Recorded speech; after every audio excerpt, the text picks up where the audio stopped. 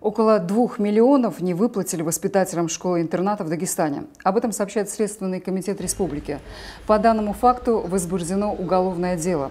Как стало известно, следствию с 1 января по 31 марта текущего года руководство специальной общеобразовательной школы-интерната не выплачивало стимулирующие выплаты 82 воспитателям учреждения.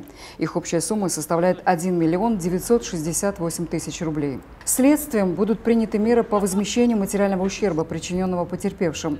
Расследование уголовного дела продолжается.